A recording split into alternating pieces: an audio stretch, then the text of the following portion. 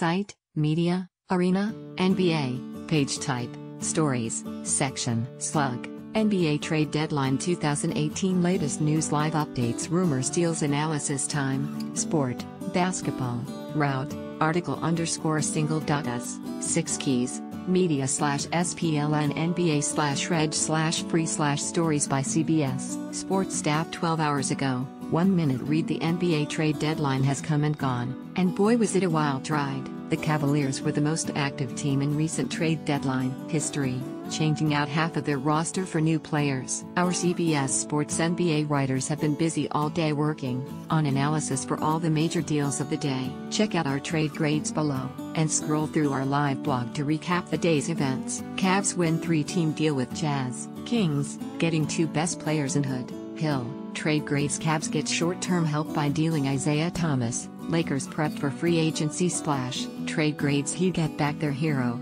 Dwyane Wade, as Cavs do the honorable thing. Trade grades Knicks land Emmanuel Mudiay an interesting three-team deal with Mavs. Nuggets, trade grade Suns take worthy risk on Elfrid Payton, while Magic get minimal return. Trade grades Luke Babbitt brings three-point shooting to Miami for cheap.